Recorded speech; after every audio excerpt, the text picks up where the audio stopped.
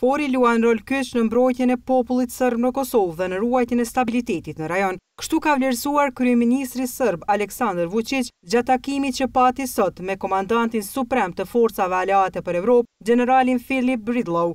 Vuçiq më tej ka shtuar se bashkëpunimi mes ushtrisë së Serbisë dhe NATO-s në kuadër të Partneritetit për Paqe do të përmisohet, në mënyrë që të vazhdohet puna në ndërtimin e kapaciteteve për të kontribuar për paqen dhe stabilitetin ndërkombëtar. Ndërsa gjenerali Bridlou ka konfirmuar se KFOR-i do të vazhdojë të përmbushë detyrimet në ruajtjen e sigurisë në Kosovë. Një ditë më parë, zyrtari i lartë i Aleancës Veriatlantike, Kishte qëndruar në Kosovë, ku u takua me presidenten Atifete Jahjaga dhe kryeministrin Isa Mustafa.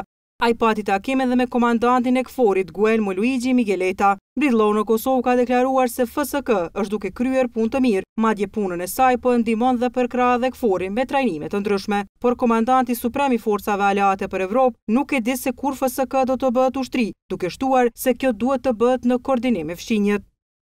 Ne kemi thënë që do të mbikëqyrim transformimin e Forcës së Sigurisë së Kosovës në Forcat e Armatosura të Kosovës. Qëndrimi ynë për këtë është se ajo është një çështje që Kosova ka nevojë për të folur me fqinjët. NATO-ja është e gatshme të ofrojë mbështetje në formën e trajnimit. Sipas tij, KFOR-i do të qëndrojë në Kosovë për aq kohë sa është e nevojshme, duke mos përmendur ndonjë afat për këtë çështje.